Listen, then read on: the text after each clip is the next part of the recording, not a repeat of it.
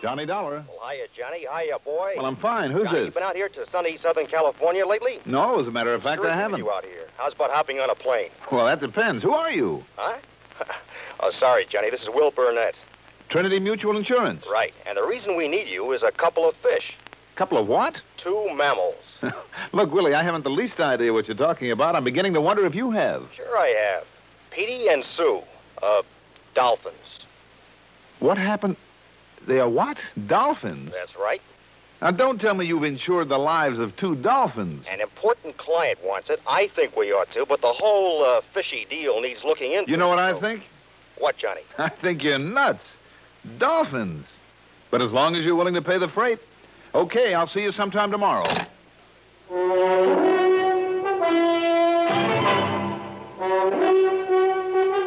CBS Radio Network brings you Mandel Kramer in the exciting adventures of the man with the action packed expense account. America's fabulous freelance insurance investigator. Yours truly, Johnny Dollar.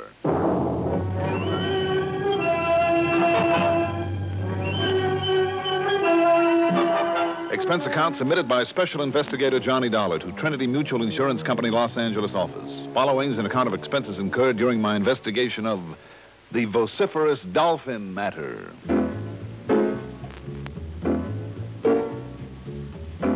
Expense account item one. At the crack of dawn the next morning, $224.43. That's for a wire to Willie Burnett, a taxi to Bradley Field, and a jet going west. Then at L.A. International, while I was picking up my luggage.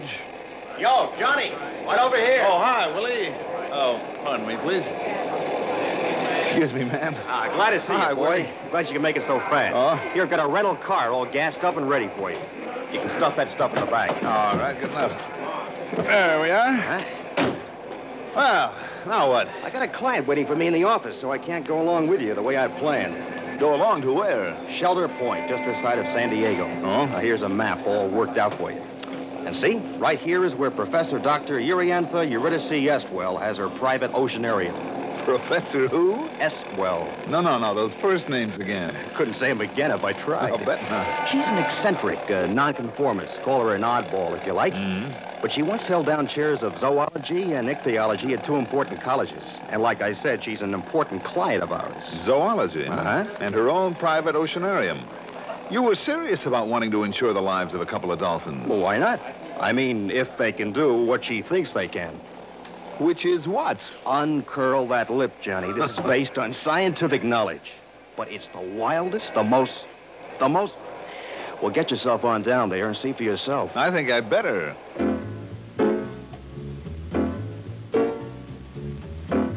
I cut on over through Inglewood to Route 101, the freeway, and then about 40 miles later hit the Pacific Coast Highway at Capistrano Beach. There I plowed into a cold, wet fog. Real pea souper. By the time I passed through the usually colorful town of La Jolla, I began to wonder if I shouldn't stop somewhere and wait for it to clear. But it was still early afternoon. Traffic wasn't too bad, so I kept on. By the time I finally found the unpaved road that cut over to Shelter Point, I wished that I had stopped. But a sudden, very short lived breeze gave me a quick look at my destination. Down near the edge of the Pacific was a home, and leading out over the ocean was a long, wide pier with lockers lining one side of it.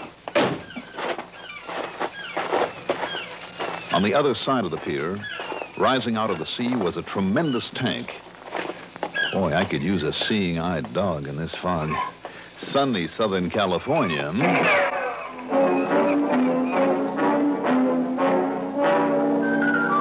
Somebody down there in the pier must have caught a glimpse of me. A very good glimpse of me. That last shot was too close for comfort. But the fog, now a solid wall again, was to my advantage. Moving without a sound, I felt my way onto the pier, and by pressing close to the lockers, I showed no silhouette. Finally, I saw the hazy outline of the marksman who was not looking my way. I waited. After what seemed like an hour of hardly daring to breathe, I jumped. All right, let me have it. Let me have that gun. Come on. Who are you? What are you doing out here? Wait a minute. Do You always shoot at people? Now, I ask you a question, mister. Who are you and what are you doing out here? Matter of fact, I had come here to see a Professor Estwell. What about? My name is Johnny Dollar. Johnny Dollar. That's right. Oh, Johnny, I'm so glad to see you. Well, cheers. Now, look, I, I'm Penelope Wyman. Penelope, well, let's, let's call you Penny, hmm? well, I like that better. You mind telling me why you were pulling off those shots at me? At you? Oh, but I wasn't. It must have been a ricochet. Oh, sure. Oh, really, Johnny? I was aiming at those sharks.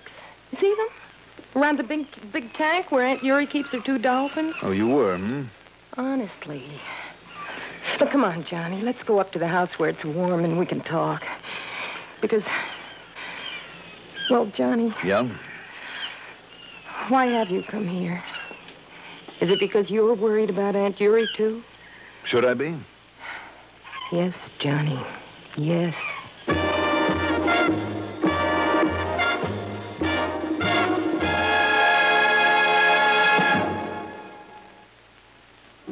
This ever happened to you? You're driving down a long highway or working late, and then monotony makes you feel drowsy. Perk up with NoDoz. No Dose keeps you alert with the same safe refresher found in coffee. Yet NoDoz is faster, handier, more reliable, absolutely not habit forming. The safe way to stay alert without harmful stimulants. NoDoz.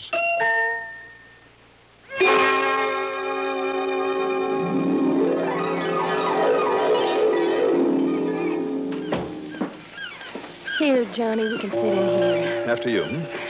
Thank you. Would you like a drink or something? No, no, thanks. Now, Penny, tell me, does this worry about your aunt have something to do with your standing down there on the pier with a rifle? Well, no, I, I, I told you I'd thought of going swimming. In all this fog? Well, sure, anytime. But when I, I, I saw all those sharks nosing around the dolphin tank, I. I... well, all right, no, Johnny. I did have the rifle there because of Aunt Yuri. Why? Her experiments with the dolphins. What kind of experiments?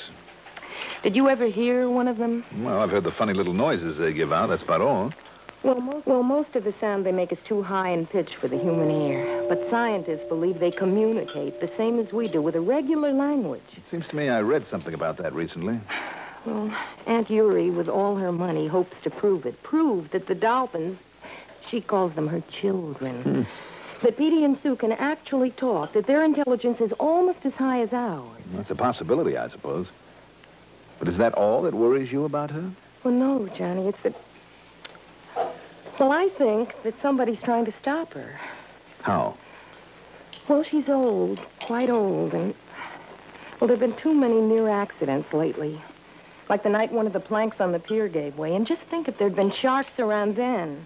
And she still insists on doing everything alone out here, in spite of the fact that she could afford all kinds of help. But she, she does it all alone, except for Carl and me. Who's Carl? Oh, Carl Petermill. He's a. Well, he he was my fiance. Uh, Johnny, are you uh, are you going to stay long? Well, I don't know. Tell me, uh, what does Carl do for your aunt? Oh, he handles the recording equipment for the funny sounds that Petey and Sue make when they uh, talk to her. She calls it. I don't really know how it all works, Johnny, and I don't think she does either. But that's her big project. Well, do you think she's getting anywhere with it? Of course I am, young man. Carl, set those tape recordings over there in the corner. Right, sure, Professor.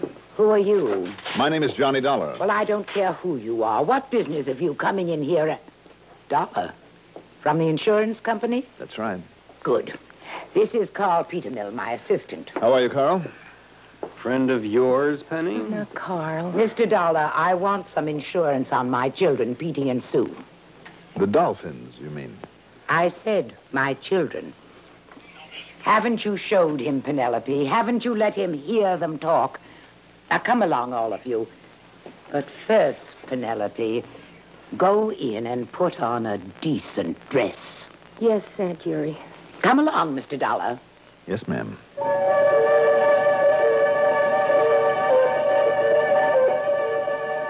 While Carl fooled around with a mess of complicated electronic equipment over at one side, we climbed onto a platform across the big tank, and the two dolphins came flipping up out of the water like a couple of playful puppy dogs demanding attention. Splashing around, squeaking like mad, then leaping high into the air, clear over the platform and down into the water on the other side. The thing that really stopped me was when one of them, leaping out of the water onto the platform, just lay there for a moment until the professor gave it a few pats on the head like you would a playful dog. It was amazing, and a far more personal kind of play than I'd ever seen at Marineland or any other oceanarium where they train small whales and dolphins. They really seemed to understand her. That's enough. Then, at her command, they quit and stayed below, swimming around. Of course, coming up for a breath of air now and then and watching us all the time. There you are. Do you see, Mr. Dollar? They are my children, completely obedient. And they love me, too. Almost unbelievable, Professor. Well, that alone is reason enough to insure their lives. Well, now. But uh, there's a far more important reason, Mr. Dollar. One of tremendous scientific value to the whole world. At least it will be when I've given them more training to prove my point. I'm going to show you, demonstrate to you how they talk. Is the recording equipment ready, Carl? All set up to go, Professor. You get one of them up to the surface, and I'll handle the mic from here. Very well. Sue, Susie, come here. Come here, pet. Start the machine, Carl. Okay, we're rolling, Professor. All right, Talk to me. Talk to me, dear. Come on, Sue. That's right. Talk to me. That's a good girl. Do you love me? Do you love your mother? Say, mother. Mother. Mother, did you hear it, Mr. Dollar? I heard it, but I'm afraid I don't exactly understand her. Then we'll show you, won't we, Carl? Down you go, Susie. And thank you, dear. Uh, these tape recorders, Professor. How come? What's the matter with you, Mr. Dollar? Can't you see what we're doing? I'm not quite sure. It's obvious. We make a recording at ultra high speed of sounds that are almost too high for the human ear to register properly. Yes, that much. Then I, uh, Carl puts it on another of those those machines like he's doing now and plays it back at a very slow speed. I see. That will make it not only audible but understandable. Understandable, hmm? Well, of course, you'll see. All ready, Professor. Then go ahead, Carl. Go ahead. Now listen. Do you hear it now, Mr. Dollar? Now it's at a pitch that we can understand.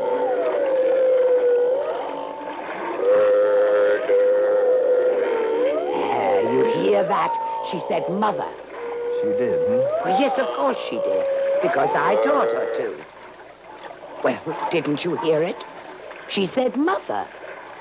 Well, didn't she? Or was it something else, Professor Estwell? What? Something else? Yes. Like maybe murder.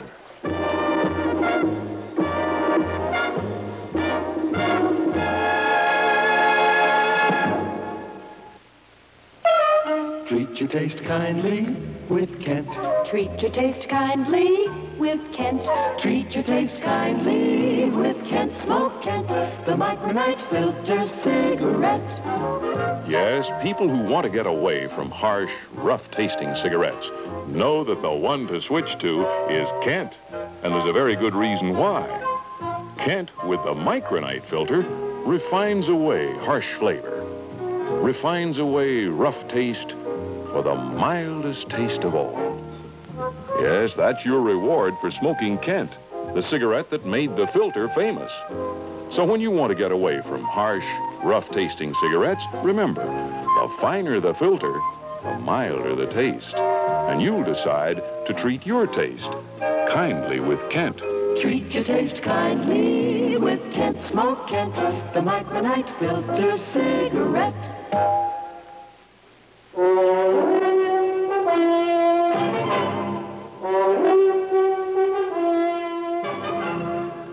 Salesman, I guess, because the minute I questioned the so called words from her pet dolphin, those that came out of the tape recorder, the professor politely but firmly ordered me to leave. Her timing was just exactly right, for as I drove on past the house. Oh, Johnny! Johnny! Hi, Penny. Hi. Are you going back to L.A.? Well, uh, maybe into San Diego. You like a ride? Oh, no, thanks. But, um, well, I'm driving in, too, for some shopping. You know, um, I was thinking that I might hang my hat at the El Cortez tonight. Oh? Well, that'll be uh, right close to where I'll be. Well, if you're shopping late, Penny, you'll have to have dinner somewhere. Oh, I was hoping you'd say that, Johnny. It's a date. Good, I'll be waiting. Just holler when you're ready.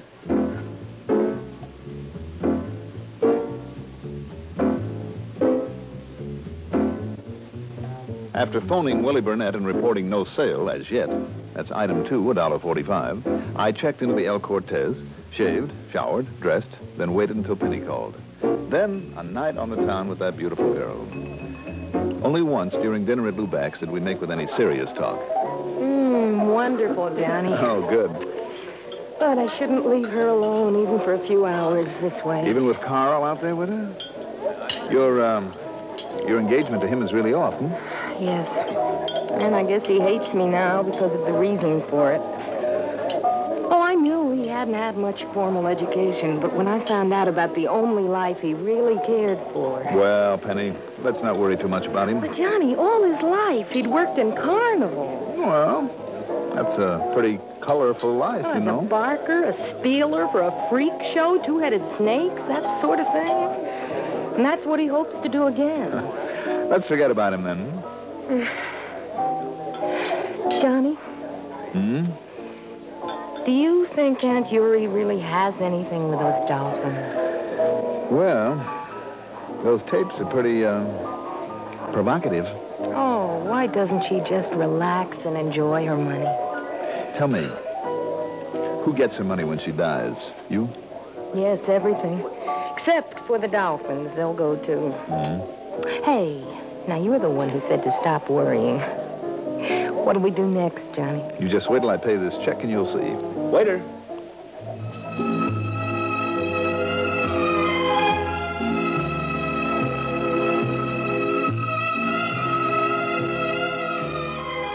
We did the nightclub route, all stops. It was one of the greatest evenings I ever had. Penny, not only clever, beautiful, charming, witty, but. Well, I was sorry when it was all over. And sometime after 4 a.m., I piled her into her car, kissed her goodnight, and watched her head on back to the beach. It was almost an hour later when. Oh, Johnny Dollar. Oh, oh, wait a minute. Hold everything. Hello? Johnny, please, come out here. Uh, Penny? Yes, Johnny. Well, Penny, what's the matter? What's happened? Aunt Yuri. She's dead.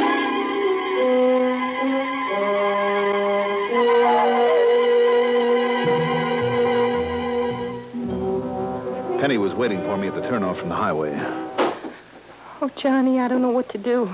And there's nobody else around. Where's Carl? I'd forgotten when I left her alone out here. Last night was a night off for him. He won't be back till six. Well, it's almost that now. Listen, when I came in, I, I found Aunt Yuri wasn't in her bedroom. Yes? And it wasn't a feeding time for the dolphins, but I, I looked around anyhow. No, no, don't stop at the house. Well, where is she, Penny? Down there, at the pier. In the tank with her. with her children.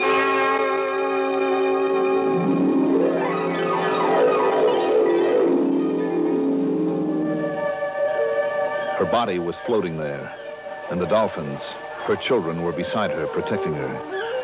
I rigged up a sling and brought her body up onto the platform, and I could see where she'd been struck on the head. Just then, Carl came running out onto the pier. I must say that his reaction was wholly unexpected. I knew it, Penny. I knew you'd get her sooner or later. Carl! Just a minute, Carl. Couldn't wait for her to die, could you, to get all her money? You had to help her along. I said just a minute. Hit her over the head, did you? Then pushed her in. Is that what you did? Oh, Carl, you're terrible. It's true, Dollar. It's true, because of her money. Now, look here, both of you. And listen. Yeah, the Dolphins. I can prove it. I think I can prove it. Because they'll know. They must have seen and they can talk. Dollar, they can talk. And I can understand them, and they can understand me. Oh, yeah. You'll see.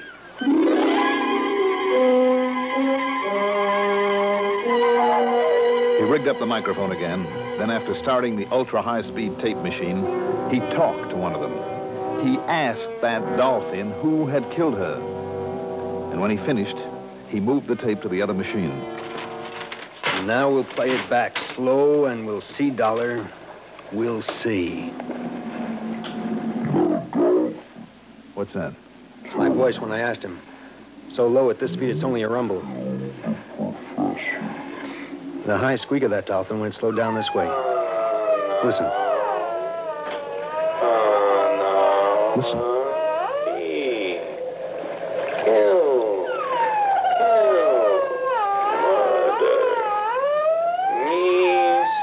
I told you. I knew it. She killed her. Oh, no.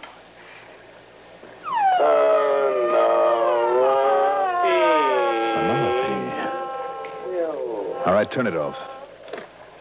Carl, drive into La Jolla. Get the police. You bet I will.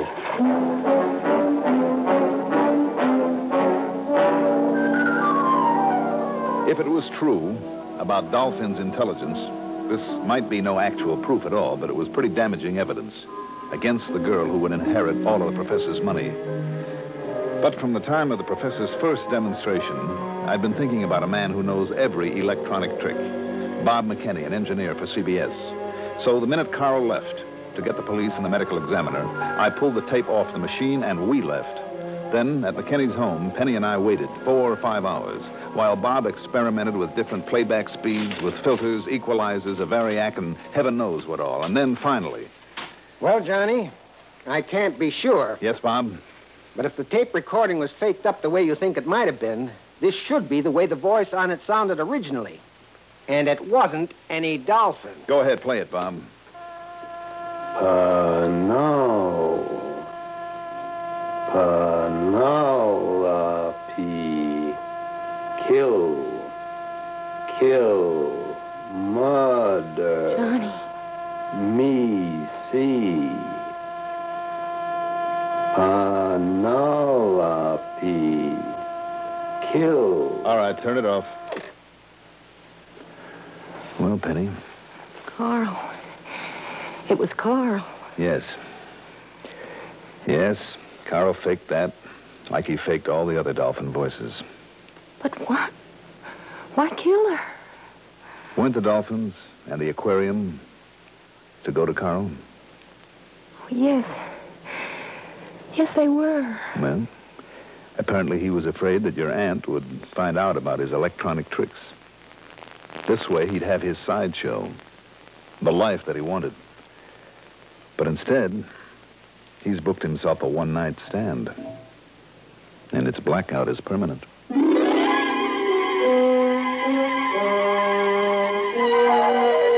Thanks to Carl, the police and he were still there at Shelter Point waiting for us.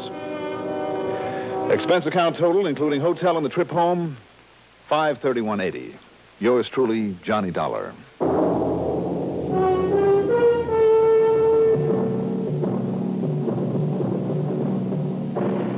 Now, here is our star to tell you about next week's story.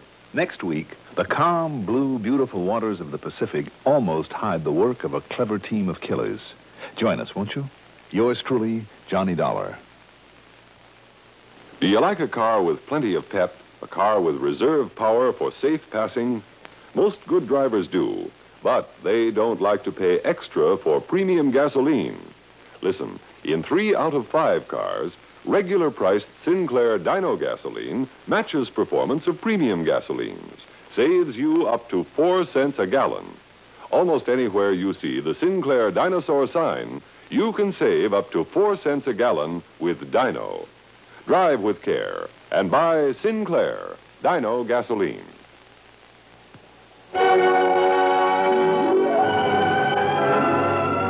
Yours truly, Johnny Dollar, is written by Jack Johnstone, produced and directed by Fred Hendrickson.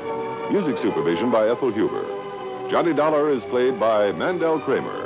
Also featured in our cast were Larry Robinson, Ethel Everett, Joan Lazer, Bill Lipton, and Ben Yaffee. Be sure to join us next week, same time, same station, for another exciting story of yours truly, Johnny Dollar. Art Hanna speaking.